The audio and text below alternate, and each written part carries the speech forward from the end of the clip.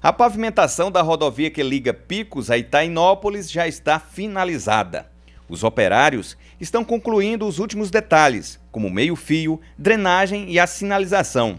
Mas um pequeno problema tem chamado a atenção da juíza Mariana Machado, da Vara Única de Itainópolis. Foi feito todo o recapeamento e falta agora a sinalização horizontal e vertical pela construtora que está fazendo a obra. Mas chegou a nós denúncias e foi preso duas pessoas em flagrante delito que estão quebrando a estrada para passar tubulações sem consentimento. A gente não pode fazer isso porque isso é dano ao patrimônio público, isso é dano qualificado. Então, essas duas pessoas que estavam quebrando a estrada para passar tubulação, eles vão responder por crime. Porque, assim, a GESPISA tem né, a tubulação de um lado, hoje a gente verificou, a construtora nos informou que onde foi determinada colocar é, passagem de tubulação, eles passaram antes da terraplanagem, certo? Conversaram comigo e com a promotora de justiça. E as pessoas estão quebrando por conta própria, muitas vezes para gato de, de água.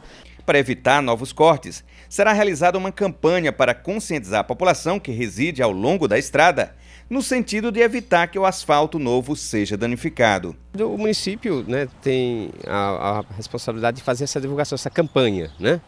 E também a rede municipal, que geralmente de água do sistema é do município. Então as pessoas que eventualmente necessitam né, desse serviço, procure antes a, a, prefeitura que ela vai dar uma solução sem a necessidade de cortar o asfalto. Na verdade, todo mundo tem que é, se esforçar para conservar. Neto Crispim, líder dos donos de transportes alternativos, sofreu por quatro anos trafegando na estrada deteriorada. Hoje, ele está grato pela conclusão da obra e espera que a rodovia seja mantida conservada é difícil trabalhar numa estrada cheia de buraco, prejuízo é muito grande, né? Então, é, daqui para frente agora a gente tentar conservar essa obra que é muito importante para nós. Nos 40 quilômetros de asfalto, o governo do estado investiu mais de 7 milhões de reais. O Ministério Público e a Justiça estão vigilantes.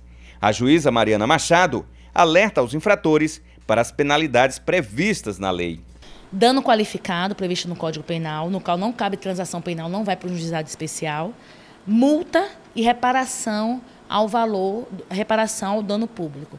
Exemplo, se um, aquele, a quadrante do assalto que foi identificada custa 3 mil reais, eles vão ter que ressarcir o estado daquele valor para que seja feito de novo o recapeamento daquele local. E eles podem ficar presos? Podem, porque se o crime de dano é acima de quatro anos, entendeu? Se for reinteração, então, com certeza.